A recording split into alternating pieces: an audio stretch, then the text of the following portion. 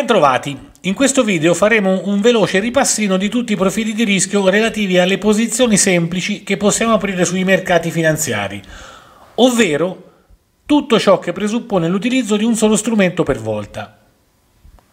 Come è noto, il mercato può fare tre cose, salire, scendere o rimanere fermo all'interno di un determinato range di prezzi per un determinato lasso di tempo. Quelli che vediamo qua sotto sono i sei più importanti e semplici profili di rischio che dobbiamo conoscere nel mondo dei derivati e che approfondiremo in corsi specifici. Le prime tre strategie in alto sono tutte strategie rialziste, long future, long call e short put. Invece le tre strategie in basso, short future, long put e short call, hanno tutte e tre lo stesso vantaggio che è dovuto ad un mercato ribassista. Le strategie fatte con i future o i titoli o le azioni, long o short che siano, hanno come principale vantaggio la semplicità di gestione. Infatti, la perdita e il guadagno sono molto semplici da calcolare in quanto la loro peculiarità principale è la linearità, un punto uguale un punto. Se il mercato sale di 500 punti guadagniamo 500 euro, se il mercato scende di 500 punti perdiamo 500 euro, ipotizzando l'ingresso long future. È semplice, giusto? Sono operazioni che consentono guadagni anche importanti, ma essendo lineari e speculari possono portare anche importanti perdite sul portafoglio. Per questo occorre sempre usare stop loss e take profit quando si adottano questi strumenti e internet e il web è pieno di consigli su dove e come si posizionano gli stop loss e take profit. Il punto è che se si utilizzano stop e profit larghi si può perdere molto e si può guadagnare molto. Se si usano stop e profit stretti si viene spesso presi dalle oscillazioni del mercato e si perdono i grandi movimenti direzionali. Al contrario, invece, le opzioni sono strumenti non lineari, sono un po' più complesse da comprendere e da gestire e purtroppo la complessità spesso fa un po' paura. Ed ecco che allora parlare di derivati eh, induce sempre qualche sospetto. Invece, se uno le guarda per bene le cose, come possiamo infatti vedere, le long call e le long put hanno il principale vantaggio che non possono mai portare a grandi perdite, in quanto il loro costo di apertura è predefinito, è un costo certo e determinabile e questo costo è il nostro massimo rischio a mercato. È un rischio che è teoricamente molto contenuto rispetto alla leva ed ai profitti che questi strumenti sono in grado di generare. Sono operazioni e sono strumenti che hanno già uno stop loss implicito e ci consentono di rimanere in posizione anche se il mercato sta temporaneamente oscillando, ovvero in quelle fasi dove si va a prendere gli stop loss e butta fuori dal mercato tutti coloro che negoziano gli strumenti lineari come i future, gli ETF e le azioni.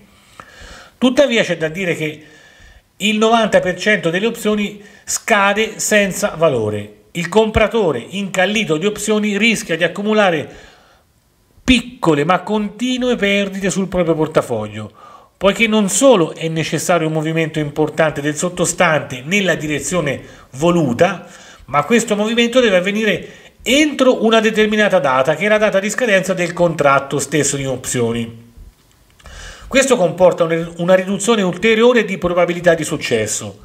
Infatti, le poche volte che si riesce a prendere profitto da una posizione che sia long call o long put, questa, questo guadagno spesso ricompensa da tutte le piccole perdite e i guadagni possono essere molto elevati rispetto a quanto poco capitale abbiamo investito.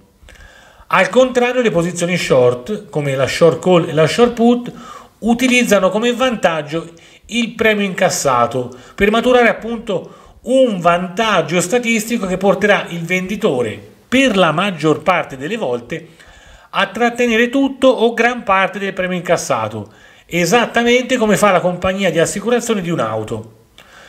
La compagnia assicuratrice incassa i premi e assicura contro gli incidenti.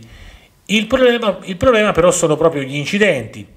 Quando accadono la compagnia assicurativa deve pagare e la perdita si rimangia spesso i tantissimi premi incassati. I venditori di opzioni infatti hanno gli stessi problemi rischi di perdita di una posizione in future, ma con entità di guadagno che sono molto più basse in quanto non superano mai il premio incassato.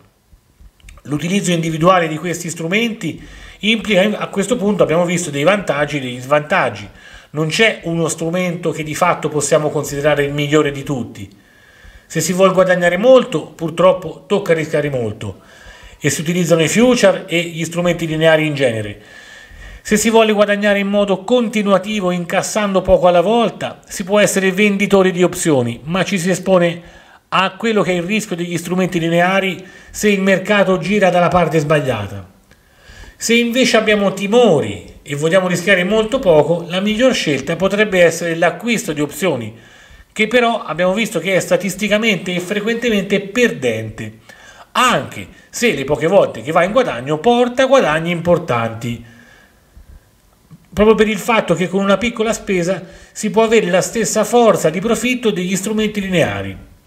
Come fare dunque? Una soluzione potrebbe essere creare delle combinazioni fra opzioni e opzioni future in modo che si possa mettere d'accordo le tante caratteristiche di rischio e rendimento degli strumenti che abbiamo appena analizzato. Questo apre tante strade che arrivano ad essere contemporaneamente meno rischiose e spesso maggiormente profittevoli e permettono soprattutto a chi le sa padroneggiare di riuscire a premere l'acceleratore quando la strada è diritta ed usare il freno quando la strada inizia ad essere tortuosa e difficile, riuscendo infatti ad assecondare il mercato. Ricordiamocelo sempre comunque, il mercato non regala mai niente a nessuno.